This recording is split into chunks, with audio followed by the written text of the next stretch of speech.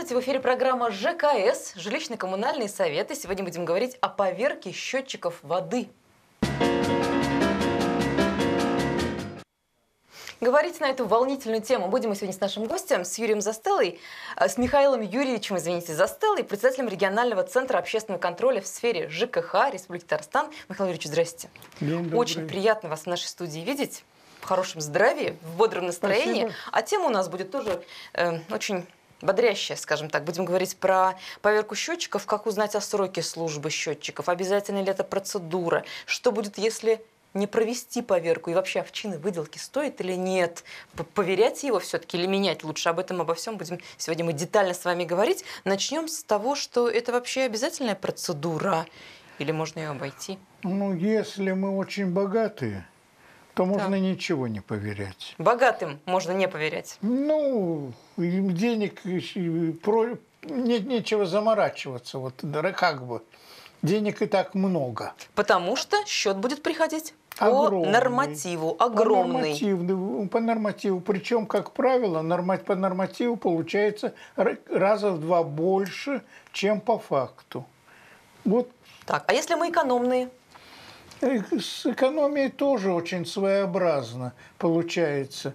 Э, По холодной воде мы экономны будем тогда, когда у нас нигде не будет подтекать И капать. и капать. Даже капать, вы говорите. Накапать Ка- даже кап- может Я ведро за сутки. утверждаю, что за сутки капающая вода дает 20 литров. В. Хрущевке три э, текущих бачка в туалете дают суточную раз- разборку воды всего дома. То есть в результате мы можем получить ну, не очень хорошие вещи. Значит, а вода, кроме того, что она стоит, она, извините, ресурс не, не очень-то возобновляемый, экологический. Э, Если мы ее расходуем, мы должны помнить, что когда-то она вдруг на всей планете и кончится. Ну, сами понимаем, мы, вот есть такая своеобразная проблема, что э, нам всегда кажется, что вот вода из скважины обязательно лучше, чем из Волги, значит, прошедшая с водозабора. Казанского. На самом деле тут не совсем так, потому что вода из скважины, она с высокой, высоким уровнем солей. А это, извините, ждет вас и камни. Будущие Будущие песочек, камушки в почках. Камушки в почках и в желчном пузыре, и все это будет. будет. Убедили, что воду нужно беречь и экономить. Давайте к поверке счетчиков вернемся. Да. Наших телезрителей, кстати, давайте к разговору пригласим, если сегодняшняя тема вам интересна. Может быть, у вас как раз вот срок подошел поверки счетчика, вам хочется подробности узнать. Звоните по номерам э, прямого эфира 511 99 66 8 800 500 32 55. Постараемся на ваши вопросы ответить. А кроме того, приглашаем принять участие в нашем опросе, который традиционно до начала эфира в нашей группе ВКонтакте мы запускали. Мы спрашивали вас, уважаемые телезрители, а вот вам уже пора делать поверку счетчика? Там есть варианты ответов. В уголочке экрана будет появляться QR-код. На него можно навести свой телефон, свой смартфон. В нашем голосовании принять участие. Попозже обязательно итоги подведем. Как происходит, э, Михаил Ну, Юрьевич, поверка счетчика? Дело Его чем. снимают, воду Если вы стояк перекрывают. получаете платежку, Так. то там имеется столбик, где, так сказать, показания приборов учета. Так, а давайте покажем. Давайте Да. покажем, где искать. Вот людям, у которых возник вопрос, а мне пора или не пора? Мелко, наверное, плохо видно, но каждый представляет себе свою квитанцию. Внизу в табличке информация о показаниях индивидуальных приборов учета. То есть это те счетчики, которые у нас в Да. квартире стоят. Вот, пожалуйста, холодная вода. Есть предыдущие показания, текущие показания счетчика, и есть столбик отдельный. Дата следующей поверки Да.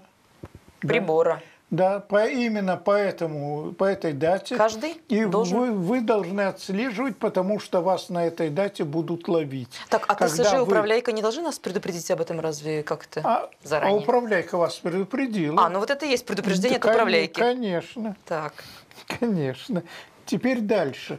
Вот давайте посмотрим, а если мы проворонили, что будет? Прежде всего будет то, что первые три месяца вам дадут на раскрутку. То есть будут с вас э, брать по среднему за предыдущие три месяца. сколько мы по- обычно и потребляли? как- пока счетчик, скажем, был условно говоря достоверен. Поверим. Так. С момента, как кончился срок, это уже не прибор. Дальше следующий этап. Прошли три месяца, с вас начнут брать по нормативу. Значит, по нормативу получится в два раза больше. Значит, дальше. Ни в коем случае не, не лезьте сами э, снять счетчик, куда-то отнести, что-то сделать Почему? вас оштрафуют, причем бешено. Само- Самостоятельное вмеш- вмешательство и, э, так сказать, уничтожение пломбы э, вам посчитают с предыдущей момента, по- как поверки счетчика до сегодняшнего дня нормативы умножат на 10. Норматив. Нормативы Не умножат наше на потребление, 10. норматив. Нормативы Ужас, умножить какая на там 10. сумма. То есть, в принципе, это не надо делать. А надо что сделать? Обратиться в управляющую компанию. Давайте отвлечемся на минуточку, у нас звоночек в студию есть. Давайте. Алло, здравствуйте, мы вас слушаем. Э, Значит, у меня вопрос такой. Э, Вот, например, счетчики воды, и горячие, и холодные, мы поверка делаем сами, смотрим. И получается, у меня всегда от норматива два раза меньше я трачу воду. И холодную, и горячую, да. Там 6 кубов есть, всего тратим семьей 3 куба. А почему-то отопление получается наоборот, да. По нормативу там надо два месяца платить больше. Ну почему-то получается по счетчику общедомовому мы всегда платим чуть больше. Чуть не два раза. Вам А чем, эта они, ситуация, они про- о чем это поверку не делают? Или мы не- на них не смотрим? Вот э, спасибо за ваш вопрос. Значит, я С теплом какая попытаюсь вам ситуация? ответить. Ну, вы подтвердили ту цифру, что пользоваться счетчиком в два раза выгоднее, чем платить по нормативу по счетчикам воды, а с отоплением устроено вот как. Можно платить в Татарстане двумя типами, два подхода. Либо по общедомовому счетчику тепла, и вам пропорционально будут делить ваши площади, и тогда действительно в сентябре вы почти ничего не заплатите, и в апреле мало заплатите. Или же берут 8 месяцев, с сентября по апрель включительно, и делят на равные доли, э, исходя из того, сколько было затрачено в предыдущем году. Таким образом, мы получаем что мы платим одинаково. Кому-то это кажется правильным, кому-то неправильным. Но мы можем себе представить в холодный месяц пенсионера с небольшой пенсией и живущего, так сказать, в сравнительно большой квартире, э, сколько ему придет. Ему придет, наверное, две трети его пенсии. Вот. Ну, спорить можно, конечно. А если прошлая зима была холодная, а это теплая, что Значит, значит, значит, пересчитают. Пересчитают все-таки, да? пересчитают. А эту форму оплаты вот по, эти- по этим двум схемам жильцы сами выбирают? Или кто? Или Это сверху ее спускают муниципалитеты выбирают. А, вот как. Еще звоночек есть на студию. Алло, здравствуйте, мы вас слушаем. Алло, Алло. ваш, ваш вопрос. Э, Добрый день, здравствуйте. Я звоню с Камских полян. Я хочу узнать, сколько у нас должна быть горячая вода, сколько градусов. Вот прекрасный Мне вопрос. вопрос. Ага. По нормативу А сколько По должна? нормативу 65 градусов. И все, что меньше, можно потребовать перерасчета, зафиксировать Ну, это как-то? Можно требовать перерасчета, но нужно разобраться, почему она меньше. Это сказать, не вмешался ли кто-то в систему сна- водоснабжения горячего. Как, например, может вмешаться кто-то? Например, э, поставили дополнительно некий прибор, где происходит перелив из холодной воды в горячую.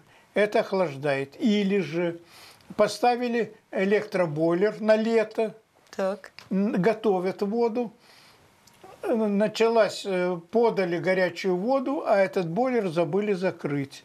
Он, наверное, квартир 5 обеспечит прохладной водой. Это кто-то из соседей может так Кто-то из напортачить. соседей э, приходится слесарю, значит, ходить и проверять, где это безобразие произошло. Значит, потому что если проверят, сколько на входе в дом, и там нормально, а внутри уже происходит немножко не то, то ясно, что это внутри дома. Мгм. И откажут вообще, да, в решении этого? Ну, Сами ну, виноваты, скажут. Ск- Ну, прежде всего, точно не Ой, компенсирует. вернемся к вопросу о поверке счетчиков. Расскажите алгоритм, как это все происходит. Вот я, где, я, во-первых, где этого мастера я ищу? Потому что почтовые ящики бросают всякие бумажки рекламные. Значит, не надо верить Где? никакой рекламе по этому поводу, потому что реклама иногда, так сказать, преследует желание вас запугать и с вас взять средства совсем ни за что и совсем не такие. где Нужно раздобыть честных? явиться в управляющую компанию. Как правило, им известен человек, который имеет лицензию, э, от которого примут акт о поверке. Мало того, этот человек, вы с ним договоритесь по телефону, он приедет в оговоренное время, с ним будет аппаратура, он, не снимая вашего счетчика, в течение получаса произведет всю поверку и выдаст вам необходимый документ. Этот необходимый документ вы, так сказать, предъявите в управляющую компанию, и все будет в порядке. Начнете, так сказать, новый срок. Цена вопроса Цена от вопроса 300 до 450 за один счетчик. за один счетчик. Без дополнительных расходов, потому что вы сказали, не снимая, значит, стояк мы не перекрываем. Дополнительных Ни- расходов у нас нет, Вот, вот, вот, подготовительных. вот это самое правильное. важно, да. А если снимать, куда-то возить, а потом ставить, это будет раза в три дороже. Еще у нас есть звоночек в студию. Алло, здравствуйте, мы вас слушаем. Алло, Алло. слушаем вас. Ваш вопрос. Вы меня слушаете? Вас слушаем. Так, понимаете, я покупала счетчики ну, в магазине. Так. Ну, это, и, ну, мне дали визитку там, ну, своего, наверное, рабочего, ну, слесаря там или кто. Он мне ставил этот самый, ну, счетчики. А теперь не в декабре уже проверка будет, в декабре уже в этом году вот. А вот мне его обратно вызывать надо или из дома управления вызывать Хм. надо слесаря? Вот это вот Из индивидуальный вопрос. дома управления обязательно. Потому что, так сказать, они посмотрят, сколько было, э, так сказать. Ну и потом э, они порекомендуют вам, кто должен прийти. Потому что у того же слесаря, у него не может быть, может и не быть лицензии на поверку. Почти наверняка нет. То есть вы тогда пойдете просто, если минуете руководство дома управления, ну, кто, Так. так сказать, дирижирует этим, диспетчера, вы пойдете по самому затратному пути. Мало того, может оказаться, что он не имел права, а нарушил пломбу, и с вас возьмут, как я уже А говорил... штраф на собственника наложат, на, да? на на кого еще? Так, еще раз повторяем. Раз мы не знаем, есть ли у этого слесаря лицензия, мо- имеет ли он право заниматься этой деятельностью, нечего его звать, да, на всякий случай. Конечно. Мы не рискуем. Э, От него акт может управляйка не принять. Лучше всего все-таки спросить у управляйки, они скажут. Так, понятно. Мгм. А, э, во сколько примерно обойдется поверка, мы сегодня уже сказали. А Мгм. вообще, насколько близки цены на замену счетчика? Вот если выбирать между поверкой и заменой, овчины выделки вообще стоят или нет? А может быть, Если не снимая счетчик, это точно стоит. так, если не снимаем. Мгм. Причем, ну, рекламируют вот эти товарищи, что такую поверку производят. Они говорят, что если не при поверке выяснилось, что счетчик не проходит, тогда они, не беря за поверку Так. эту, они осуществляют замену.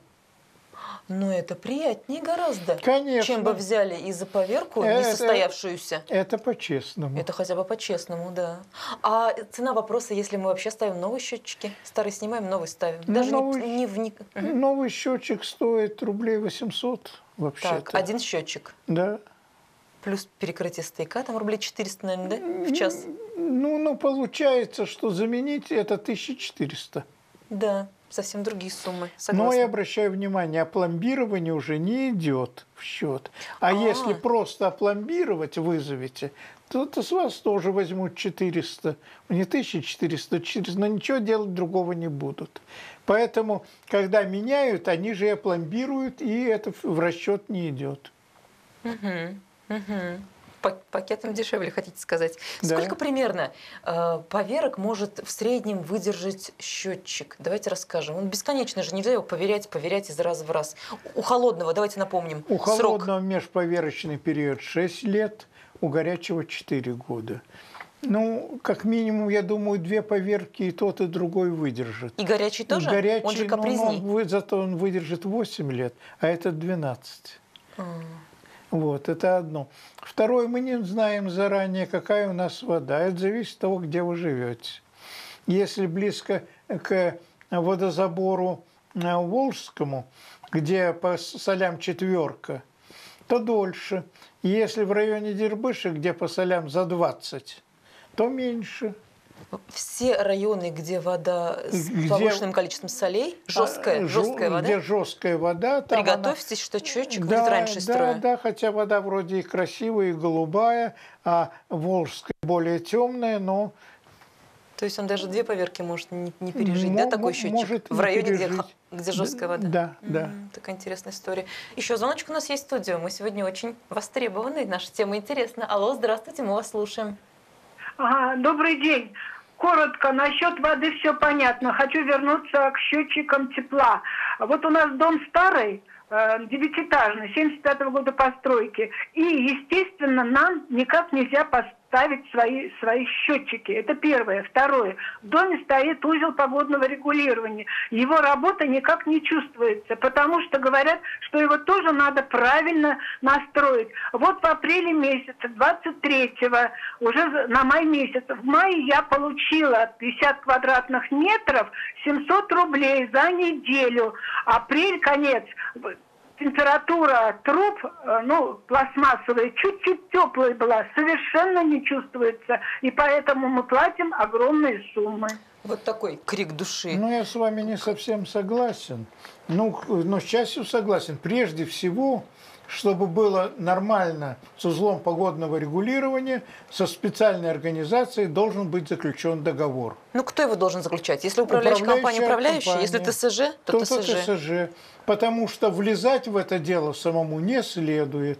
Там, кроме того, что он, ну, так сказать, осуществляет эту работу, там нужно поверять его собственные датчики и так далее, и так далее. А это не просто и канительно. У нас в Татарстане много таких фирм, которые хорошо, грамотно обслуживают узлы погодного регулирования, которым нет нареканий. которые Есть Где их фирмы. найти? Может, на сайте есть. Спросите управляющую организацию. Управляйку. Конечно. Я и вось- вообще выяснить прежде всего, кто ставил этот узел погодного регулирования, Так. и с ними посоветоваться. Как правило, у них есть и лицензия на обслуживание.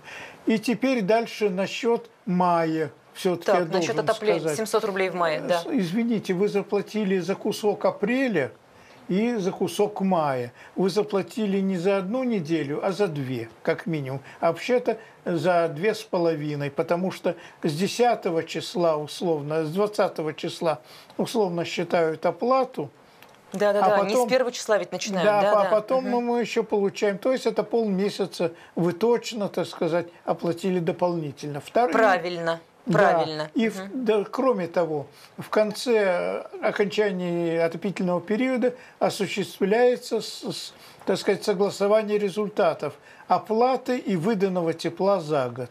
И это обнуляется для того, чтобы следующий отопительный сезон начать с нуля.